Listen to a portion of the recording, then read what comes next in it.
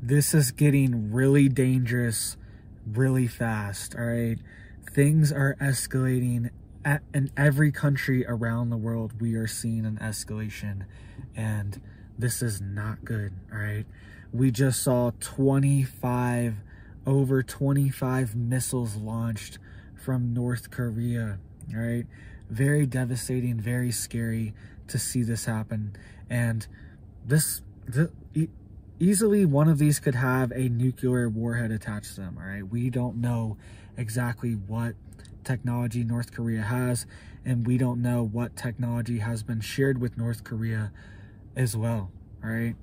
And North Korea, they should be able to do, you know, missile tests, but launching 25 different missiles at once, and they are flying over Japan, and landing in the waters of South Korea. All right, so it's pretty extreme. It's pretty scary for people over there in Asia. It is tense, and we are seeing all this military movement. We are seeing all this movement from China. China is building up as well. They're preparing for something huge. The United States is moving nuclear bombers into Australia and into Guam. All right, big things are happening and now North Korea is doing this. North Korea, by the way, uh, offered, I think it was 300,000 troops to Russia, all right? So big things are happening and we could see North Korea dragged into this conflict as well. So let's let's get into the details of what's going on here because it was very scary for the people in Japan and South Korea air raid sirens, all this stuff, the whole nine yards was going on, all right? And when is it going to just actually happen? And is this going to drag the United States into a giant conflict? All right, so let's uh let's dive into this. It says Japan's emergency broadcasting system said the missile flew over and past Japanese territory. It sent evacuations warning warnings to residents in the areas of Miyagi, Yamagata, and Niigata, urging them to stay indoors. I don't really know what, I mean, if a missile's coming, it's coming. Staying indoors isn't really going to help, but they got to tell you to do something, all right? And in South Korea, we'll, we'll get into this in just a second. It was even worse.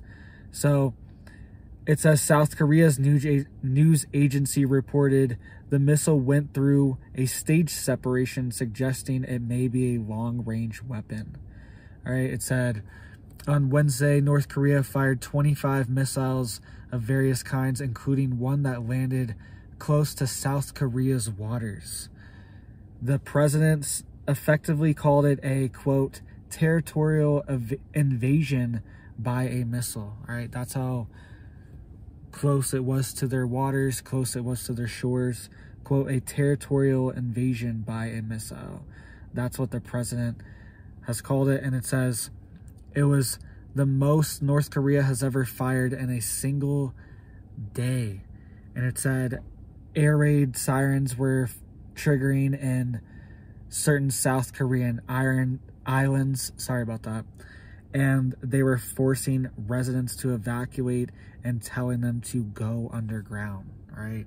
So I just wanted to get all this raw news out for you. I wanted to read it for you of everything going on. So this this could happen here. What what happens when it's America next, right?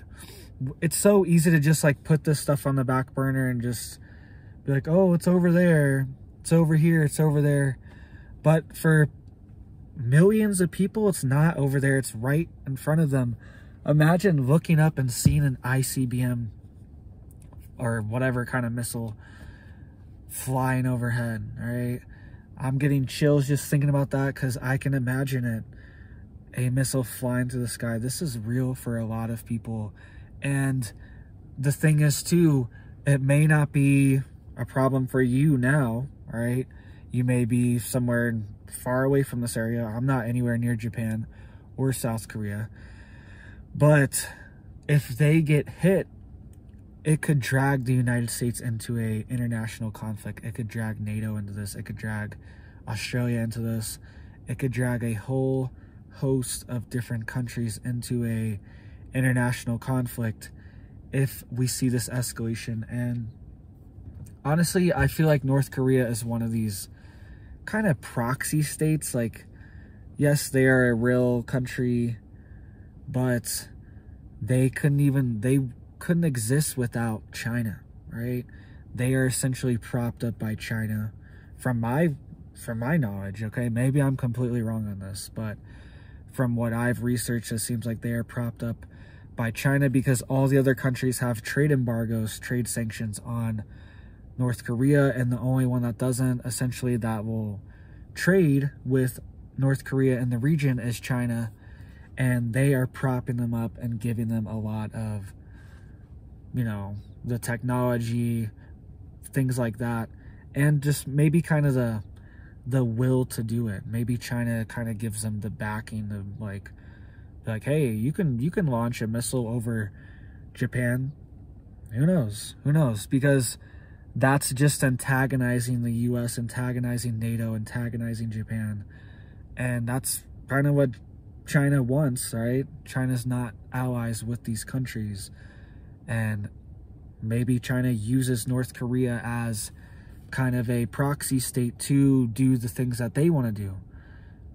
And we could see North Korea used as a proxy to maybe launch a something big, right? Something huge. Who knows? This this is just speculation. I'm speculating. I could be wrong on this, but it sure seems like China uses North Korea as a prop a lot of the time. And guys, a North Korean EMP by congressional studies, all right? This this was a congressional study I think in like 2018, a couple years ago, all right? And it said approximately 90% of the United States population would not make it through the first year, would not make it after an EMP. So a North Korean EMP could potentially wipe out the electrical grid. And it was saying most 90, it was said literally 90%. Go look this up. It's all real. 90% of Americans would not make it from this situation. All right, this was a congressional report. They paid people millions of dollars to do this study, and that's what they came up with. All right, so this is very serious, very real.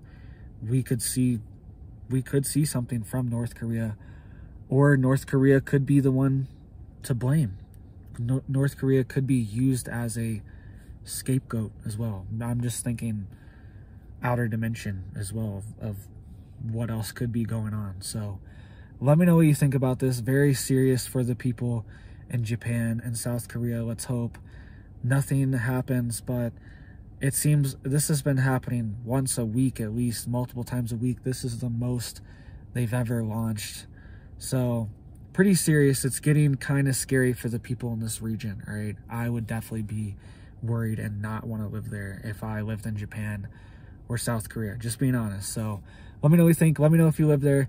Thank you guys for watching. You have a big old blessed day.